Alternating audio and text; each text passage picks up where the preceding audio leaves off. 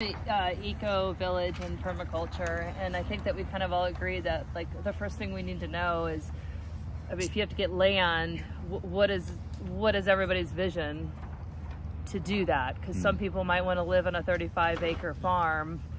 That's a very different seeking mechanism of land versus other people might want to live in a five bedroom house in Sedona. So you know, it's just that there's really a whole, not a whole lot we can do until we understand what the groups want. And so what we our next step was to um, devise a another survey form, but it's very specific to yes. Eco Village, not general. And so um, we just threw some questions on here, and if you guys can think of any other questions that you want to add, um, we'd like your input for that. Um, and so I'll go through those and right now. So our form that we came up with so far is um, how or if, how far outside of Sedona would you be willing to live? So if, if not, then your answer is no, I want to live in Sedona, right? And so, and, and I'm, I've been tasked with writing this up, so I'll clarify that, you know, as I write the survey. Um, what resources do you have available to contribute? Um, resources financially, maybe no money, but you'll we're willing to contribute. I'm a farmer, so or I'm you know whatever it is you're if you're not able to do financial resources, what would that be? And then if it is financial resources, what can you contribute? Because if you want a 35 acre and you could contribute $50, then you know we have to find a bunch of people $50 for for 35 acre but we might get there you know so you know that's that's part so that's part of this equation you know um, the, another question is do you already have property we've already there's a gentleman here that are, that mentioned he has a, an acre and a half and he's looking for eight more and so what this will end up generating if people who do have property mm. and they're really well ready to do it, you know, then we could start pairing people up so they can make their mini ecosystem. Um, write a paragraph of the dream eco community that you have. And so then put some examples like what size what is it a farm? Is it in the city so just more definition of what you envision specifically so then we could start pairing people up i know that she doesn't she wants to live where there's no wi-fi and no mm-hmm. you know mm-hmm. there's no distraction uh, more off grid but I know the blockchain folks are definitely not going to want to live in a community yeah, yeah, yeah. like that, yeah, right? This is so important. We have different. To, yeah. No Wi-Fi, but either no Wi-Fi or low Wi-Fi, where there's a, a Wi-Fi area where people can go to. And that could be a solution set. But we have to get the what everyone wants to then start providing solutions for that. And honestly, for something like that, you would probably need a 35 acre or plus, right, to separate it.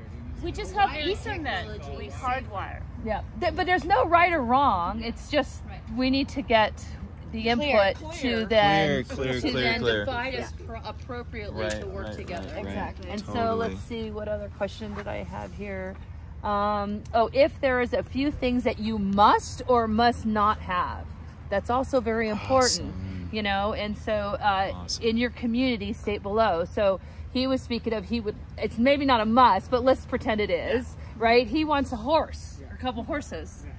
So you know his community where he's envisioning i must have a horse that's part of what i want well if someone's allergic to horses i don't know if that's even possible yes. but if someone says i cannot be around horses because i'm allergic to them you know well clearly either we're going to have to have a very big piece of property for them to live together and be very separate or they're going to have to be in different communities so it's going to be very hard for us to do anything until we start to understand the dynamics of the group and what they want and then.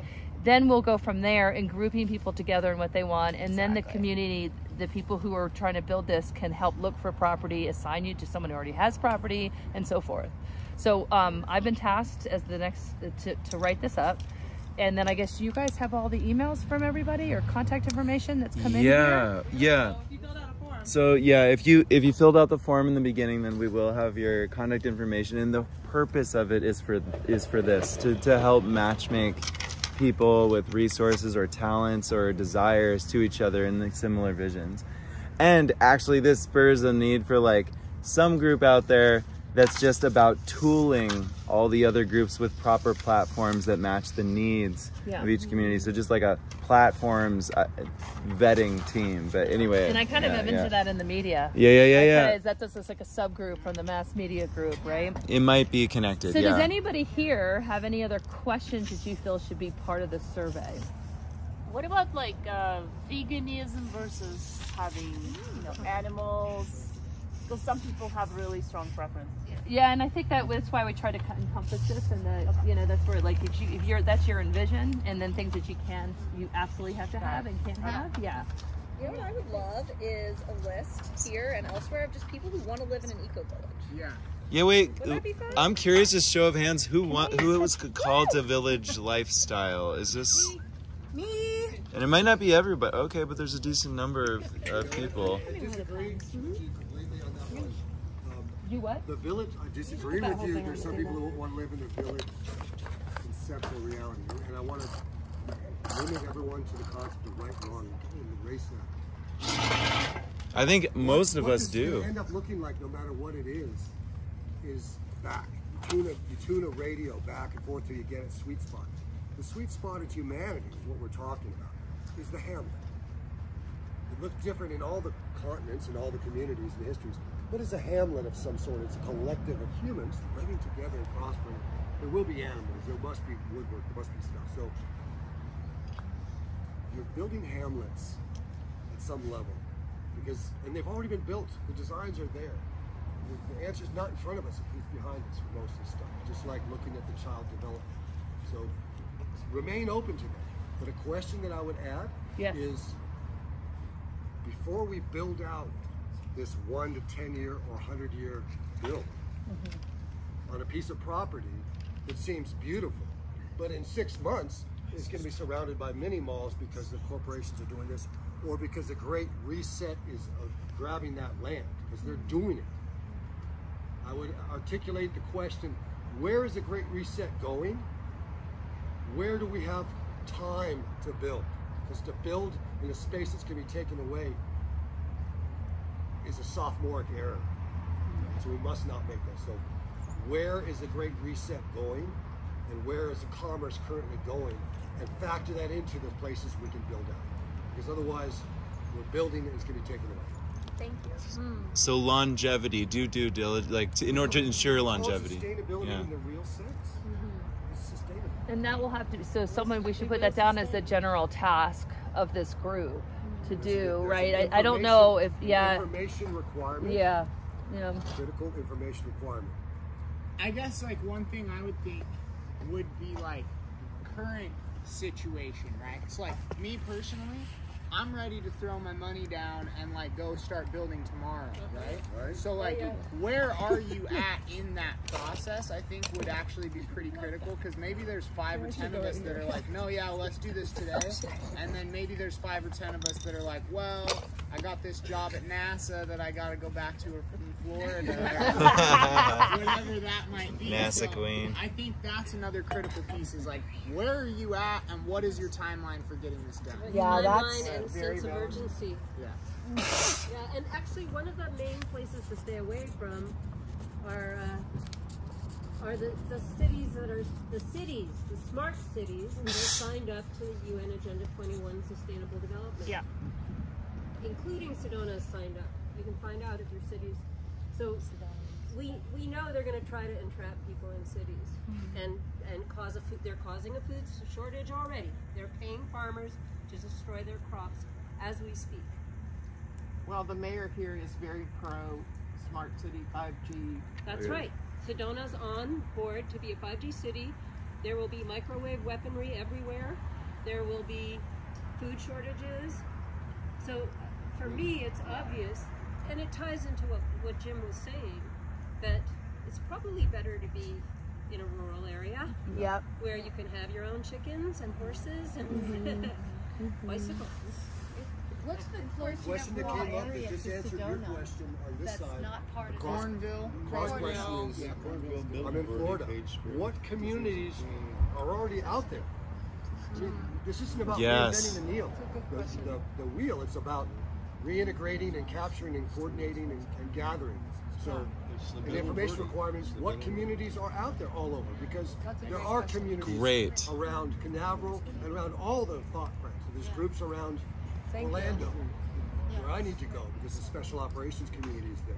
They're going to be a critical piece in the pack in the future. Where are all the communities? And it's critical to have water in the land.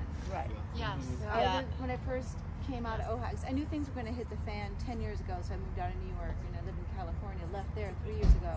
And I've been in search of being where there's water in land. 'Cause I spent my first year or so in Ash Fork, Williams. There's no water no out water. there. You have to truck your own water to your property, mm-hmm. especially in Ash Fork. It's not sustainable. Well, I would say so that most everyone's probably gonna say I need to have water. Well, no, no. I But would a lot of suggest you that just by write that land, down they're as a not rule. thinking about that. No water, no Well, life. So I was in Pinetop and Show Low. There's some spots out there with water, but um, so it's something to think about. All right, I'm sorry, you guys. I'm just gonna say something really quick as a facilitator.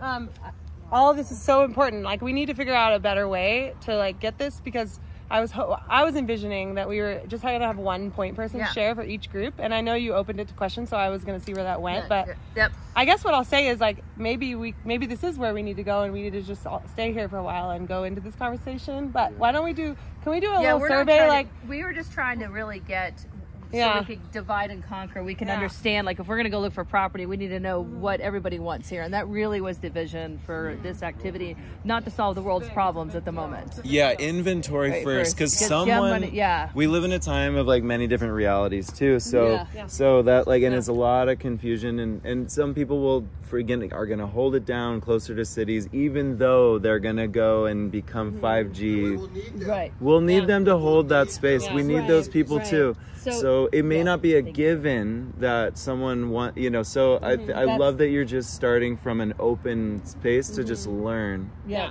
and then we can figure out from there. So Right. Yeah, Exactly. I Yeah. just think if we can match make the right people to the right projects, But yeah, that might then at real. that point in But time, it's- all of us can be the same community. Yeah. Just because we're five miles away from Yeah. each other doesn't mm-hmm. mean that we're not part That of doesn't this. mean that we won't all look at the blockchain Right. for Yeah. a resource, you know, or the mass media. water on my Right. property, but I have, you know, hemp, and you guys need clothes or whatever it might be. Like, raise your hand if you have a lot to say right now.